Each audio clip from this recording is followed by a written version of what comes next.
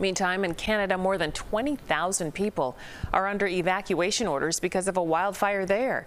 Canadian officials say the largest wildfire recorded in Jasper National Park could keep burning for months. It has already charred more than a thousand homes and buildings in the town of Jasper. Officials say it's not safe for people to go back home to see any of the damage because there are chemicals that have been released into the air from all of the buildings that have burned.